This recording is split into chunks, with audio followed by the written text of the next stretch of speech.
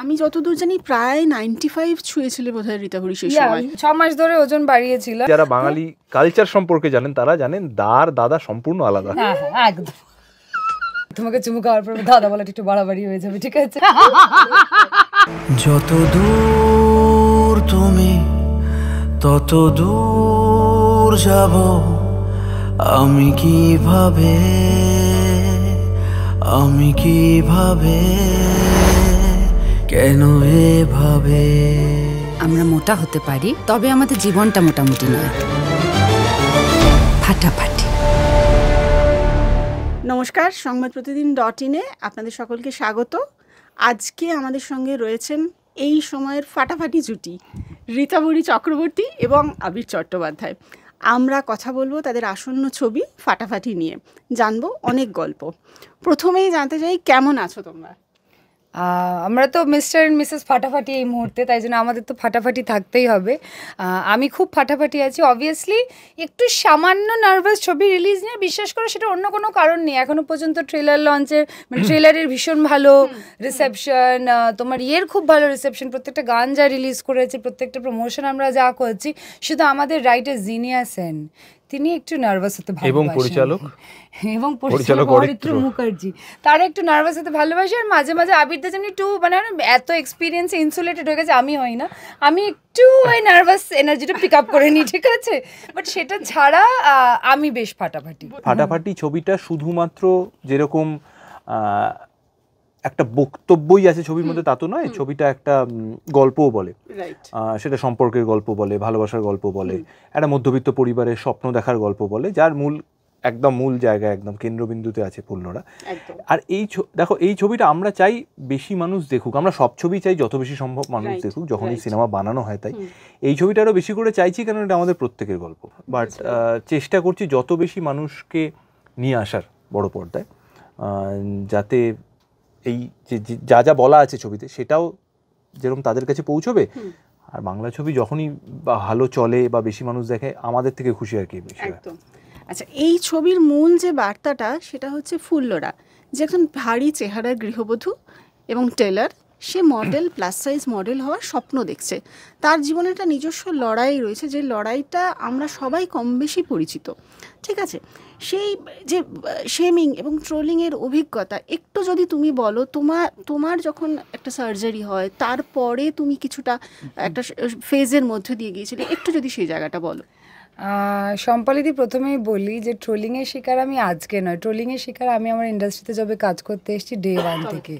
হ্যাঁ তুমি আমার প্রথম ইন্টারভিউ করেছিলে আমার জীবনের প্রথম ইন্টারভিউ অগবধূ সুন্দরীর সময়। তখন পপকর্ন ছিল ব্ল্যাক অ্যান্ড হোয়াইট আমার এখনও মনে আছে রঙিনও ছিল না।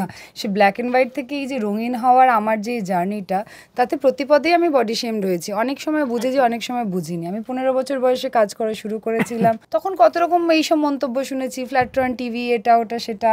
তারপর যখন নিজেকে গ্রুম করে ফিটনেসের নিজেকে ডিভোট করে ফিগার তৈরি করলাম একরকম সাইজ জিরো করলাম তখন শুনেছি men like flesh they don't like bones you are all bones তারপর ধরো যখন সার্জারির পরে অনেক ফ্ল্যাশ হলো তখন হলো ওরে বাবারে দেবছি রীতাবরীকে কেউ খেয়ে নিয়েছে। তো একটা জিনিস বুঝেছি যে আমি small medium XL large double XL যাই থাকি না কেন মানুষ কিছুতেই একশো শতাংশ খুশি হতে পারে না। সবাইকে খুশি করবার দায় নিয়ে তো আমি ঘুম থেকে উঠতে পারব না। অভিনেত্রী হিসেবে আমার নিজের কাজের প্রতি কিছু কমিটমেন্ট আছে মেয়ে হিসেবে আমার মায়ের প্রতি ফ্যামিলির প্রতি আমার সোসাইটির প্রতি প্রতি কিছু দায়িত্ব আছে সেগুলো পালন করবার জন্য সেগুলোর জন্য এনথুজিয়াস্টিক্যালি আমি উঠি এবং নিজেকে ভালো রাখার জন্য খুশি থাকার জন্যও ঘুম থেকে উঠে। তুমি যদি আমাকে আজকে সে বলো সম্পালিদি যে তোর ওই কাজটা দেখলাম আমার মনে হয় তোর হিন্দি উচ্চারণটাতে আরেকটু ওয়ার্ক করা উচিত তাহলে পরের কাজটাতে বেটার হবে। এটা কিন্তু অপমান নয় এটা তুমি আমার একটা তুমি আমার একটা নোট দিলে so that my growth is better ডিফারেন্সটা কোথায়? সেটা কখন অপমান হয়ে যায়? যখন সেটা শুধুমাত্র আমাকে আঘাত করার জন্য বলে। আমার কনফিডেন্সে হিট করবার জন্য বলে। এই যে যেগুলো বললাম ফ্ল্যাট্রন টিভি আমি কেন কিছু পরিবর্তন করব? পরিবর্তন করবে সেই মানুষটা যে এই মন্তব্যটা করছে যার মানসিকতায় গোড়ায় গলদ। সেগুলোতেই কোথাও না কোথাও হয় না পয়েন্ট আউট করবার জার্নিটা হচ্ছে ফাটাফাটি। কিন্তু সেটা হচ্ছে শুধুমাত্র সেই সুতোটা যেটাই পুরো ডিজাইনার আউটফিটটাকে বেঁধে রেখেছে। তার কারণ এটা একটা পরিবারের গল্প বাচস্পতি ফুল্লরার প্রেমের গল্প। বাচস্পতি নিজের একটা হয় না এই রকম মন্দার বাজারে স্ট্রাগল করে বেঁচে থাকার গল্প এবং কি বলব ফ্যাশনের গল্প বন্ধুত্বের গল্প একটা স্বপ্ন দেখার গল্প সমস্ত কিছু। শুধু যেই সুতো বা মোড়কে বাঁধা সেটা হচ্ছে বডি শেমিং এর concept so I can assure you যে ইটস অ্যান ইমোশনাল অ্যান্ড ড্রামাওয়ালা জয় রাইড আমরা ট্রেলারে দেখেছি বাচস্পতির চরিত্রে আবিরকে অসম্ভব মানিয়েছে। অসম্ভব মানে কম বলব ভীষণ মানিয়েছে বিকজ আমার বরের চরিত্র হ্যাঁ, হ্যাঁ, ঠিক আছে। এবং তাতে বোঝা যায় আবির চরিত্রটার সঙ্গে কতটা কানেক্ট করতে পেরেছে। বাট একই সঙ্গে এটাও সত্যি শেমিং এর অভিজ্ঞতা বা নেগেটিভিটির অভিজ্ঞতা তোমারও রয়েছে। যদি তুমি একটু সেদিকে আলোকপাত করো. একটা সময় যখন আমি এবং আমার স্ত্রী আমাদের জার্নিটা শুরু করেছিলাম আমাদের বন্ধুত্ব থেকে শুরু সেখান থেকে প্রেম সেখান থেকে বিয়ে তখন যখন এরকম কিছু মন্তব্য শুনেছি তখন যেহেতু আমাদের পরিচিতির যে মহলটা অতটা বড় ছিল না কাজে সেটা সামান্য কথা হয়তো যে পাশাপাশি তোমাদের বেমানান লাগছে সেটা এমন ভাবেই বলা হলো. সেটা ঠিক নয়। যখন থেকে আমি অভিনয় করতে শুরু করলাম বা আমার অভিনয় জগতে একটু নাম ডাক হলো মানুষ যখন চিনতে পারলেন আমাকে তখন তো আমি পাবলিক ফিগার হয়ে গেলাম। কাজে আমাকে নিয়ে তো মানুষের বলা তারা একটা কোথায় আনসেড লাইসেন্স তারা পেয়ে হ্যাঁ, গেলেন। হ্যাঁ। সেটা ভালো হোক মন্দ হোক। এবার সেটা আমি আমার উইথ এজ উইথ এক্সপিরিয়েন্স আমি বুঝতে শিখেছি সেটা আমার কাজের অংশ। কিন্তু শুরুতে তো অত সহজে হয়নি ব্যাপারটা। বিশেষ করে আমার স্ত্রীর ক্ষেত্রে। তো আমি বলব she is a much stronger person than I am so তার ফলে ওরও সময় লেগেছে। যেটা ফুল্লোরা হয় ফুল্লোরারও হয় আমরা দেখি সেলফ ডাউটে ভুগতে আরম্ভ করে হীনমন্যতায় ভুগতে আরম্ভ করে। ডেফিনেটলি সেই প্রসেসের মধ্যে দিয়ে গেছে এবং সেটা একেবারেই সুখকর নয় সেই জার্নিটা আমরা এখন জানি কোনটাকে গুরুত্ব দেব কোনটাকে গুরুত্ব দেব না। এবং এখনও আমরা তো রক্ত মাংসের মানুষ এখনও যে রাগ হয় না বা অপ- অপমান লাগে না তা না। বাট এখন বুঝতে শিখেছি ফিল্টার করতে শিখেছি এটুকুই বলার। সিনেমায় যেমন ফুল্লোড়ার একটা জার্নি রয়েছে এটা নিয়ে মানে প্লাস সাইজের মডেল হওয়ার স্বপ্ন নিয়ে। তোমার নিজের একটা লড়াই ছিল সার্জারির পর হ্যাঁ হ্যাঁ আমি বলব। সেখানে সেই সময় তুমি আমাদের ইন্ডাস্ট্রি ফ্রেটার্নিটি থেকে কিরম প্রতিক্রিয়া পেয়েছিলে? মিক্সড জানো তো? তার কারণ যখন আমার আর আবিরদারি ওই বিজ্ঞাপনটা আসে ঠিক আছে? আবিরদা একদম আবির দা বলে পছন্দ করে না আমি পছন্দ করি। করি? তোমার বলে একবার দাদা লিখেছিলাম বলে তুমি আবার দাদা না না সেটা দাদা দাদাটা পছন্দ করি না। আচ্ছা দা। দাদা দিদি একটা শুধু দি আর দা হ্যাঁ. কারণ যে কোনো বাঙালি যারা বাঙালি কালচার সম্পর্কে জানেন তারা জানেন দার দাদা সম্পূর্ণ আলাদা। হ্যাঁ হ্যাঁ একদম। সেই তোমাকে চুমু খাওয়ার পর দাদা বলাটা একটু বাড়াবাড়ি হয়ে যাবে ঠিক আছে? ও এটা তো ওয়েব এটা তো সেন্সার কিছু নেই না, না না এইটা এখানে তো কিছু নেই বরং এখন কমেন্ট সেকশনে বলে যাচ্ছে এ কি কই? গানের লিখটা জানি কারণ জানি কারণ ক্লিক ক্লিক আর বারো তারিখ থেকে বড় পর্দা হ্যাঁ, ফার্স্ট অফ অল আবিরদা আমাকে এমনভাবে তাকায়নি যেন মানে হোয়াট ইজ রং উইথ ওরম করে না খুব স্বাভাবিকভাবে সে কথা বলল। আমি নিজে বরং হয় না ডিফেন্সিভলি আই স্টার্টেড সেইং যে আমার এই জানো তো শরীরটা খারাপ ছিল ইয়ে ছিল গেল। এবং কোনো সহানুভূতি বা করুণা নয় কিন্তু একটা সার্টেন কাইন্ডনেস নিয়ে Habir Chatterjee gave me a partial hug like he does whenever he meets me and then he was like যে কবিটা সত্যি না? কিরম আমাদের এই সময়টাই গেল? বল আমার কি খুব ভালো গেছে বলে he started talking about his own I connected with him for the first time, and I've known him for what, like seven, eight years. Mister ওরকম So, so that was a certain comfort zone. কিন্তু সেই বিজ্ঞাপনটা বেরোনোর পর again নানান রকম body shaming বিচ্ছিরি কথাবার্তা যা ইয়ে হলে বা তুমি যদি ইন্ডাস্ট্রি পিয়ার্সের কথা বলো আমার সোহেনি এবং মীর দুজনেরই আমার মনে আছে যখন ওই ট্রোলিংটা হচ্ছিল ওরা আমায় ফোন করে বলেছিল যে একদম এতে তুই ইয়ে করবি না মরাল হারাবি না ঠিক আছে? ইউ আর লুকিং ফ্যাবিউলাস ঠিক আছে? কেউ চোখে সেটা যদি দেখতে না পারে তো ক্রিটিসাইজ করে সেটা তার মুশকিল। অনেস্টলি স্পিকিং তখন আমি না ওগুলো নিয়ে ভাবছিলাম না আমি এত ব্যস্ত ছিলাম তখন আমার পুজোয় যা ক্যাম্পেন থাকে আই ওয়াজ লাইক হ্যাঁ হ্যাঁ ঠিক ঠিক ঠিক একদম ভালো কথা। অন দি আদার হ্যান্ড আমার এক প্রডিউসার বন্ধু সে আমাকে এটাও বলেছিল যে আরে স্কার্ট পরে স্কার্ট পরে কেন এসেছিস? এখন ইন্ডিয়ান পর এখন ওজন বেড়ে গেছে এখন স্কার্ট টার্ট বুট ফুট এগুলো পরিস না এই চেহারায় মানায় না।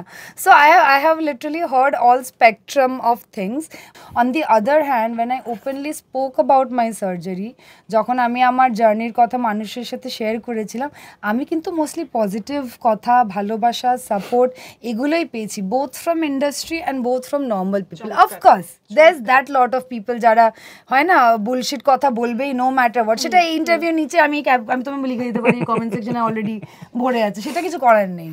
আমি যতদূর জানি প্রায় নাইনটি ফাইভ ছুঁয়েছিলে বোধহয় রীতাভরি সেই Yeah, সময়। সেই সময় না সেটা তারপরে হ্যাঁ সেটা সেটার জন্য তো অনেক কিছু করতে হয়েছিল তোমাকে। হ্যাঁ ছ মাস ধরে ওজন বাড়িয়েছিলাম। ব্যক্তিগত জীবনে ওর যে জার্নিটা সেটা কোথাও ও ফুল্লোড়ার জার্নির কোথাও তো মিল আছেই। এবার ওর ক্ষেত্রে কাজটা আরও কঠিন আমি কেন বলব? She is a professional actor performing artist তার ফলে একটা নির্দিষ্ট বেঞ্চমার্ক আমাদের সকলকে মেনটেন করতে দ্যাটস এ প্রফেশনাল কমিটমেন্ট সেখানে দাঁড়িয়ে এই যে ও প্রতি মুহূর্তে ধরো ও শুটিংয়ে পরের দিন যখন প্রথম যাবে ওর নিজের মধ্যে সেলফ ডাউট আসতে আরম্ভ করেছে যে আমাকে কি দর্শক অ্যাকসেপ্ট করবেন এইভাবে দেখবে না দৌ তো। তাহলে তুমি ভাবো সার্টেন লেভেল অফ আমি তো বলবোই আমরা অন্য অনেকের তুলনায় বেশি privilege O she has already tasted success তারপরেও এই সেলফ ডাউট আসছে। তার তাহলে যাদের সত্যি সেভাবে পরিচিতি নেই সাধারণ জীবন যাদের তাদের অবস্থাটা কি হয়? তো সেই সেই জায়গা থেকে আমরা যদি আরেকটু বেশি সেন্সিবল বা সেন্সিটিভ হই এটুকুই চাওয়া আর খুব বেশি কিছু চাইছি না। আচ্ছা এবারে আমি তোমাদের দুজনের কাছে একই প্রশ্ন রাখব সেটা হচ্ছে ছবি হিট হওয়া নিয়ে তোমরা কতটা আশাবাদী? খুব কঠিন প্রশ্ন। আমি খুব আশাবাদী। আমি খুবই আশাবাদী আমি মিথ্যে কথা বলব না। আমি অলরেডি সাকসেস পার্টিতে কি করব প্ল্যান করে নিয়েছি ঠিক আছে? তার কারণটা হচ্ছে আমি যখন ফাটাফাটি ডাবিং এর সময় ছবিটা ফাইনালি দেখলাম আমার তো চোখে জল এসে গেছিল জানো তো? যেরকম হেসেছি প্রেমটাতে রিলেট করে জানো অনেস্টলি জানো তো আবির আমি না বাচস্পতি ফুল্লরাকে দেখেছি। এক মুহূর্তের জন্য ইভেন আবির রিতাকেও দেখিনি। আমাদেরও নিজেদের যে একটা হয় না কুংসুটি ইকুয়েশন আছে সেটা কিন্তু বাচস্পতি ফুল্লরর নয়। ওদের প্রেমটা অন্যরকম দুটো চরিত্র অন্যরকম and I am so very thankful to the team to জিনিয়াদি to Abir da to Aritra যে আমাকে ফ্লোরে ওই কটা দিন আমি ফুল্লোড়া হয়েই বাঁচতে পেরেছি। আমার রীতাভরি হয়ে খুবই কম বাঁচতে হয়েছে। সেই জন্য না তুমি যখন ছবিটা দেখবে তোমরা রীতাভরিকে খুঁজো না তখন রীতাভরিকে হয়তো বেয়ারলি পাবে। আবিরের কাছে একটু পজিটিভ কিছু শুনতে চাইব ছবি হিটের ব্যাপারে। না না আমি তো পজিটিভ বলছি। আমি চাই যত বেশি সংখ্যক মানুষ এই ছবি দেখুক দুটো কারণে। এক হচ্ছে এই ছবিটা যে বিষয় নিয়ে কথা বলছে যেভাবে বলছে একেবারেই প্রিচিভাবে বলছে না। সেই কারণে আমি চাই বেশি মানুষ এই ছবিটা দেখুন ফুল ফ্যামিলি দেখুন বিশেষ করে ছোটরা দেখুন। কেন বলছি? ছোট থেকেই যদি একটা ধারণা তৈরি হতে থাকে তাহলে সুবিধা হয়। কারণ তারা জানতে চায় আমরা ঠিক করছি তাদেরকেও যদি সারাক্ষণ এই কথাগুলো শুনতে হয় সে নারী পুরুষ নির্বিশেষে তাদের কনফিডেন্স পুরো ভেঙে চুরচুর হয়ে যায়। তারা স্বপ্ন দেখা বন্ধ করে দেয়, তারা ডিপ্রেশনে চলে যায়। সো তারাও যদি এগুলো দেখে, কোথাও গিয়ে যদি কনফিডেন্স পায়, সেটা সবচেয়ে বড় পাওয়া আর এবার একদম ব্যবসার কথায় বলি বাংলা ছবি যত বেশি চলে তত আমরা খুশি হই। একেবারে ব্যবসার অঙ্কে যদি ছবি হিট হয় বা সুপার হিট হয় আহ, আমি ভীষণই খুশি হব। জানো তো মানে ফাটাফাটিটা না কে না আমি শুধু এরকম বাংলা ছবি বাংলা ছবি হিসেবে দেখছি না। ফাটাফাটিটা ছবি তার মানে বডি শেমিং এর সমস্যাটা না শুধু আমাদের বাংলা বলে লিমিটেড না সারা পৃথিবীতে। ইটস এন ইন্টারন্যাশনাল সাবজেক্ট সবি আমিন বলে একজন মহিলার সাথে আমি শুটিং করছি যিনি হচ্ছেন আমাদের দেশের এই মুহূর্তে probably one of the few plus size model তো সে তার জার্নি নিজে শেয়ার করতে চলেছে এবং এই ছবিটার জন্য সে অল দ্য বাংলাদেশ থেকে ফ্লাই করে আসছে সেটা নিয়ে কথা বলবে বলে। তাহলে তুমি বলো এটা কি তাহলে কলকাতা লিমিটেড একটা সাবজেক্ট রইল? এটা তো সব মিলেমিশে গেল। আমি আবার কালকে ফ্লাই করছি বম্বে আমি সব ওপেন আপ করছি না যে কি কি কার কার সাথে আমি কথা বলতে চলেছি এবং সেগুলো তোমাদের কাছে আমি তুলে ধরবো। কিন্তু all because of one thing হেন কোনো মানুষকে আমি চিনি না বা জানি না যে একবার আয়নার সামনে দাঁড়িয়ে এটা ভাবিনি ইস্কি বিচ্ছিরি শুধু তার চেহারার জন্য। একদম। বাট আমার একটু শেষের দিকের প্রশ্ন এটা সেটা হচ্ছে তোমরা দুজনে এই মুহূর্তে উইন্ডোজের ঘরের মানুষ হয়ে উঠেছো। এই হাউসের আদর যত্ন নিয়ে একটু যদি বলো। আমরা গত বছর এই ছবিটা শুটিং করেছিলাম ফাটাফাটি। খুব গরম তখন। কিন্তু তা সত্ত্বেও এটুকু বলতে পারি যে আমরা কখনো মানে আমাদের কখনো শুটিং চলাকালীন মনে হয়নি বাবা আর পাচ্ছি না। তার অনেকগুলো কারণ আছে। এক তো হচ্ছে খুব প্ল্যান্ড একটা টিম দ্বিতীয়ত একজন অভিনেতা বা অভিনেত্রীর পার্সপেক্টিভ থেকেই বলি তাদের যে সময়টুকু দেওয়া প্রয়োজন একটা নির্দিষ্ট সিচুয়েশনের জন্য বা নির্দিষ্ট ইমোশনটাকে রিক্রিয়েট করার জন্য সেটা দেওয়া। একজন প্রযোজক তিনি সিনেমার অভিভাবক।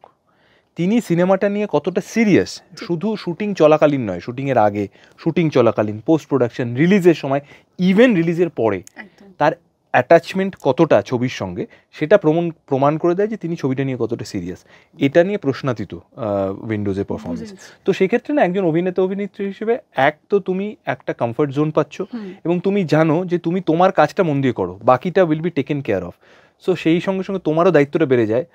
তখন একজন অভিনেতা অভিনেত্রী তারা নিজেরাও ভাবতে আরম্ভ করে আর কি কি করা যায়। আর কি কীভাবে আরও বেশি দর্শককে আমি জানাতে পারব আমার ছবিটার কথা। আগামী দিনে তোমাদের আবার কবে একসঙ্গে ছবিতে পাবো বলো?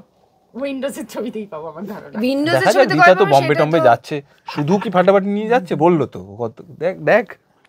শোনো বলছি যে সেটা তো উইন্ডোজের ছবিতে কবে দেখতে পাবে সেটা তো শিবুদা বলতে পারবে।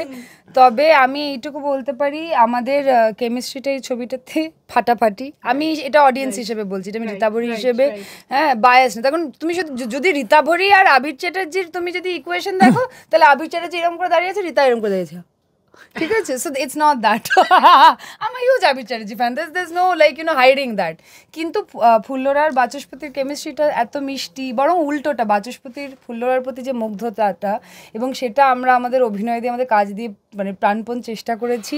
তো আমি আমি আশা করব যে সেটা দেখে যদি ইন্সপায়ার্ড হয়ে কেউ কিছু লেখে এবং ভাবে আমাদেরকে একসাথে সেইভাবে তাহলে তাহলে মানে I I'll be more than honoured to work together again শুধু আমার একটাই কথা বলার আছে যে হ্যাঁ।